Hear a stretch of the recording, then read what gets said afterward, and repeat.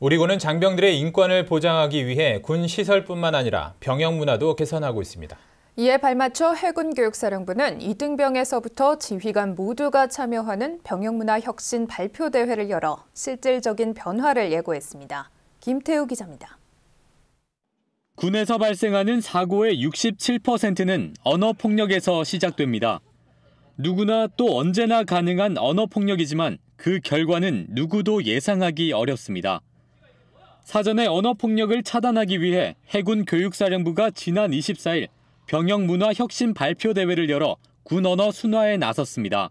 이번 병영문화 혁신 발표대회는 해군 핵심 가치, 언어 순화 등 다양한 주제를 가지고 발표를 통해 장병들의 의식을 전환하고 그것을 구체적으로 행동화하고자 시행되었습니다.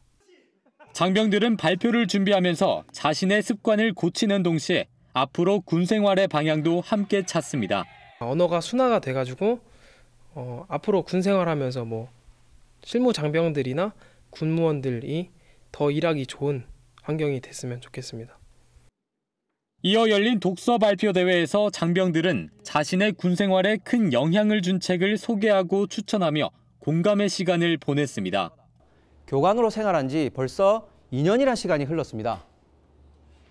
2년이 지난 지금 최고의 교수라는 이 책자를 통해 처음 교관으로 임명되던 순간 다짐했던 최고의 교수자가 되자 라던 이 외침을 새삼스럽게 되돌아보게 되었습니다. 누구나 할 수 있는 언어 폭력, 또 언제 어디서든 읽을 수 있는 책.